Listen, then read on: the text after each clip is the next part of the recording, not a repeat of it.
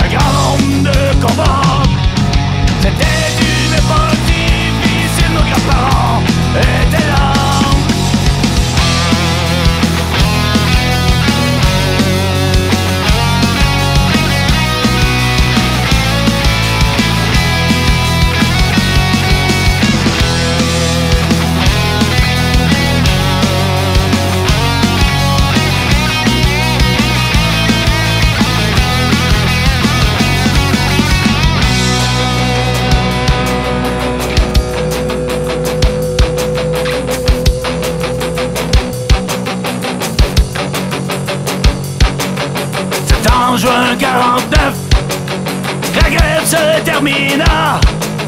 Pour les travailleurs de la Jones Manville, le boulot recommença. 138 jours de